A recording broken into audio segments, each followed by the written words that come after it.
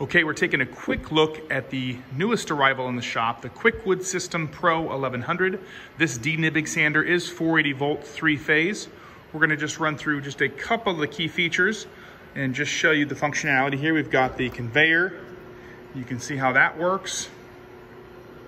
We also have the up and down, so we can raise and lower that head. And then we also have the brushes, of course. We'll go ahead and fire those up.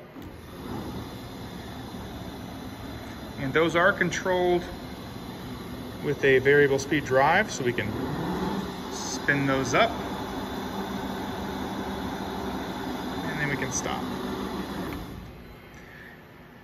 This is also going to include a custom manifold for the dust collection system. And this machine is available now and ready to ship.